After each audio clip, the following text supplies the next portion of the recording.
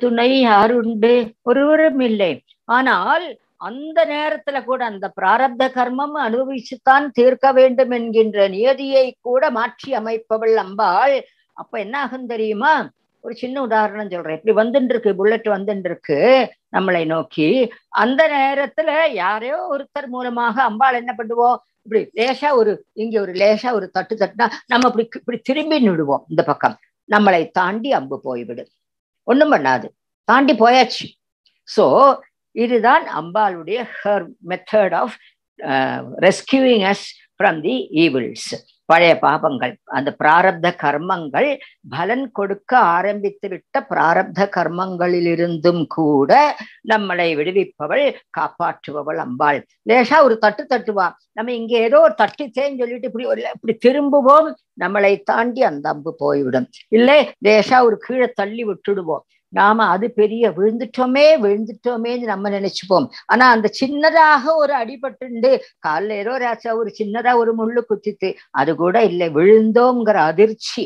ஒரு கவலைப்பட்டோம் விழுந்துட்டோமேன்னு பயந்துட்டோம் அந்த ஒரு சின்ன பயத்தோட போயிடுத்து.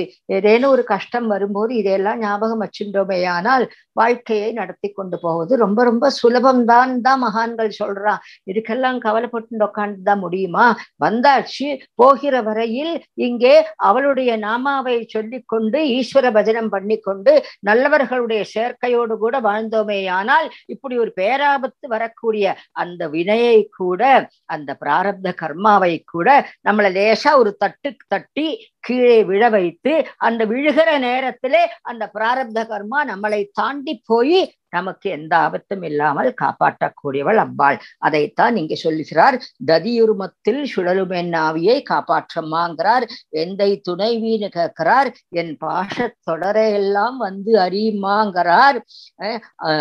கைத்தலத்தால் மலர்த்தால் என் கருத்தனவே. கையில் அழகான ரெண்டு தாமரைகளை வைத்துக் கொண்டிருக்கக்கூடியவள்.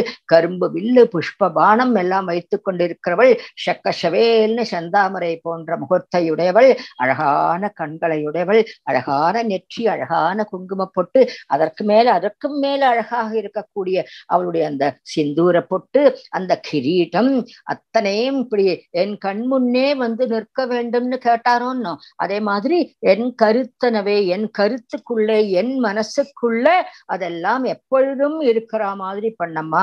இன்னைக்கு ஏதோ பத்து நிமிஷம் நினைச்சுட்டோம் அதுக்கப்புறம் டோட்டலி விட்டுட்டோம்னு இல்லாமல் எப்பவும் மூச்சுக்கு முன்னூறு தரம் என்னுடைய மனசுக்குள்ள இந்த காட்சிகள் உன்னுடைய உருவங்கள் உன்னுடைய நாமங்கள் சதா என் மனசுக்குள்ளே இருக்கும்படியான ஒரு பிரார்த்தனையை கொடுக்கிறார். அப்படி என்னை காப்பாற்றம்மா? பிராரப்த கர்மங்களில் இருந்தும் கூட காப்பாற்றம்மா?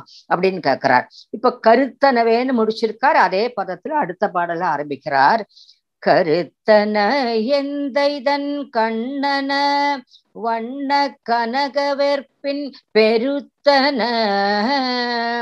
பாலழும் பிள்ளைக்கு நல்கின. பேரருள் கூர் திருத்தன பாரமும் மாரமும். செங்கை சிலையுமம்பும். முருத்தன மூரலும் நீயும் அம்மே வந்து என் முன் நிற்கவே. கருத்தன எந்தைதன் கண்ணன வண்ண கனகவெற்பில் பெருத்தன. பாலழும் பிள்ளைக்கு நல்கின. பேரருள் கூர் திருத்தன பாரமும் மாரமும். செங்கை சிலையுமம்பும். முருத்தன மூரலும் நீயும் அம்மே வந்து என் முன் நிற்கவே. அம்மேன்னு கூப்பிடுறார். மலையாளத்துல அம்மேன்னு கூப்பிடுறது உண்டு இவரும் அம்மேன்னு கூப்பிடுறார். என்னோட தாயே அருயிர் தாயே அரு அபிராமி தாயே அப்படின்னு கூப்பிடுறார். என்னுடைய தந்தையான சிவபெருமான் இருக்காரே அவர் கருத்துல நீ எப்பவும் நின்று இருக்க கருத்துல மட்டும் இல்லை கண்களிலேயும் நீ எப்பவும் காட்சி கொடுத்துட்டே இருக்கே. சதா அவர் மனசுக்குள்ளேயும் உன்னை தியானம் பண்ணிக்கொண்டே இருக்கார். சோ அவருடைய கண்ணுல கருத்துல அவருடைய மனசுல எல்லாம் நீ இருந்து இருந்து விளையாடி கொண்டே இருக்கிறாய்மா? அது மட்டும் இல்லை உன்னுடைய பொன்மலை போன்று இருக்கக்கூடிய இந்த குச்சங்கள் இருக்கே ஸ்தனங்கள் இருக்கே அது மேல உயிர்களிடத்துல நீ காட்டக்கூடிய பரிவு முழுக்க அந்த ஸ்தனங்களில நீ அடக்கி வச்சுருக்காய் எத்தனை விதமான ஜீவஜாலங்கள் நாமே பார்க்கிறோம். ஒண்ணு ரெண்டா லோகத்துல பார்க்கிறோம். இத்தனோண்டு அமீபாலேந்து ஆரம்பிச்சு யானை பரியந்தம் பிரம்ம பரியந்தம் இருக்கிறத முழுக்க அவளுடைய சிருஷ்டியோன்னு. அவள் தானே எல்லாத்துக்கும் அம்மாவாக இருந்து ஜெகன் மாதான்னு தானே அவளுக்கு பேரு. வெறும் மாதா நாமெல்லாம் பெண்கள்லாம் வெறும் மாதா. அவள் ஜெகன் மாதான்னு. புவனத்துக்கே மாதாவாக இருக்கக்கூடியவள் அவளுடைய இரு ஸ்தனங்களை பற்றி வர்ணிக்கையிலே கடினமான குஜத்தை உடையவள் அப்படின்னு நிறைய சௌந்தர லகரில் ஆகட்டும் சௌ இதுல லலிதா சகசிரநாமத்திலே ஆகட்டும் எல்லாத்திலேயும் வரும். ஏனென்று கேட்டால் அவர் நித்திய யௌவனா மதசாலினி. என்னைக்கும் ப கன்னிகையாக இருக்கக்கூடியவள் நித்திய கன்னிகையாக இருக்கக்கூடியவள். அவளுடைய ஸ்தனங்களிலிருந்து ஒருவருக்கும் டைரக்டாக அந்த அமுதைஸ்வர குடிக்கக்கூடிய பானம் பண்ணக்கூடிய இது இல்லை. ஏனென்று கேட்டால் இப்ப பிள்ளையாருக்காகட்டும் முருகப்பெருமானுக்காகட்டும் ஐயப்ப சுவாமிக்காகட்டும் அவர்கள் எல்லோருமே நம்மளை போன்று பிறக்காமல் அந்த சிவபெருமானுடைய தேஜஸ் அம்பிகையினுடைய தேஜஸ் ஒருவருக்கொருவர் பார்த்து கொண்டார்கள். இந்த கண் பார்வை அவளுடைய கண் பார்வை இரண்டும் ஒன்றாக சேர்ந்த பொழுது அந்த ஒளிமயமான அந்த தேஜோமயமான அந்த பிரகாசத்திலிருந்து குதித்து வந்தவர்கள் பிள்ளையாராகட்டும் ஐயப்ப சுவாமி சிவபெருமான் பெண்ணாக உருமாறி மோகினியாக வந்த பொழுது சிவபெருமானுக்கு மயக்குவதற்காக விஷ்ணு மோகினியாக வந்த பொழுது அவதாரம் எடுத்தவர் ஐயப்ப சுவாமி. அவருக்கும் அம்பாள் தாயார் தான் அப்படியாக அந்த மூன்று தெய்வ குழந்தைகளுக்கும் உமாட்சி குழந்தைன்னு சொல்லணும். குட்டி குட்டி குட்டி குட்டி பாப்பாக்கள் மூணு பேருக்கும் அம்பாளுடைய அந்த வளர்ந்த குழந்தைகளாக தெய்வ குழந்தைகளாக வந்ததுனால நம்மள மாதிரி சாதாரண குழந்தைகளை மாதிரி பால் அருந்தலுங்கிறதெல்லாம் இல்லை. அந்த கண் பார்வையிலே மீனாட்சியோன்னு அவள் அந்த கண் பார்வையிலே அந்த குழந்தைகள் எல்லாம் வளர்ந்தெடுத்து திவ்ய தேஜஸோடு கூட வந்தவர்கள். அடுத்ததாக திரவிட சிசுன்னு சொல்லக்கூடிய ஞான சம்பந்த பெருமானுக்கு இதுலேயும் வருது. பிள்ளைக்கு நல்கின பால் அழும் பிள்ளைக்கு நல்கின பேரருள் கூர் திருத்தன பாரம். ஞானசம்பந்த பெருமான் குழந்தையாக இருந்தபோது அவருடைய அப்பா ஸ்நானம் பண்றதுக்காக நதியில இறங்கி இருக்கார் அவர் ஜபம் தபம் அனுஷ்டானங்கள் எல்லாம் முடிச்சு வரத்துக்கு சற்றே நேரமாகிறது. குழந்தைக்கு பசிக்க ஆரம்பிச்சு கொடுத்து அவனை முதல்ல குளிப்பாட்டி விட்டுட்டு வேஷ்டியை கட்டி விட்டுட்டு நெத்தியில விபூதி எல்லாம் விட்டு குங்குமம் எல்லாம் விட்டு நீ சமத்தா உட்காருடா கண்ணா நான் அதோ சட்டுன்னு ஸ்நானம் பண்ணிட்டு வந்துடுறேன் அப்படின்னார். அன்னைக்கு என்ன சோதனை தெரியல. எப்பவுமே நமக்கு தெரியும். நம்ம இதுவரைக்கும் பார்த்த கதைகள் எல்லாம் பார்த்தோம். சோதனைன்னு வந்தா அதுக்கு பின்னாடி ஒரு சாதனையும் இருக்கும். ஒரு சோகத்தை கொடுத்தா ஸ்லோகம் பிறக்கும். எல்லாம் தெரியும். பட்டதிரைக்கு அப்படித்தானே? ஒரு வா வாதரோகம் என்கின்ற வியாதியை கொடுத்தார். பின்னாடியே நாராயணியத்தை கொடுத்தார். ஒரு கஷ்டம்னு ஒண்ணு வந்து இப்ப அபிராம பட்டருக்கு வந்திருக்கு. ஒரு சோதனை காலம்.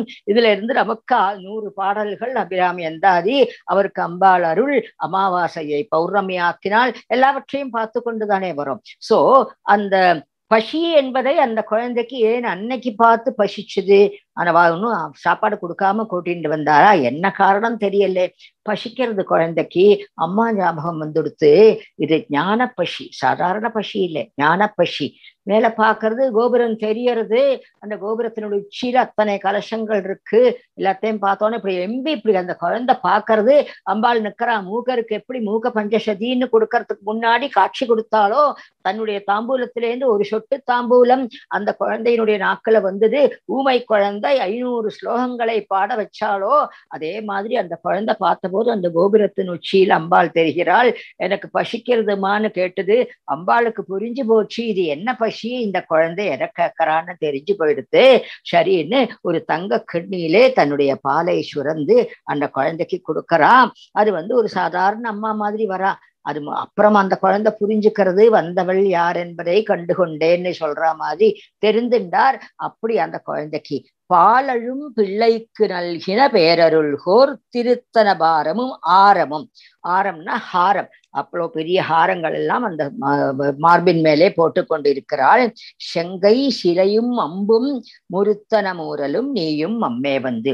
இப்படி இத்தனை சர்வாலங்கார பூஷிதையாக தன்னுடைய அத்தனை பரிவாரங்களோடு கூட சிவபெருமான் புடைசூழ அவருடைய பூதகடங்கள் எல்லாம் புழைசூட புடைசூழ அத்தனை பேரையும் ஒருங்கே அமைத்து கொண்டு நீ அப்படியே அந்த சிவலோகத்து கைலாச லோகத்து பார்வதி பரமேஸ்வரர்களாக எனக்கு காட்சி குடம்மா அப்படின்னு எத்தனை பெரிய கோர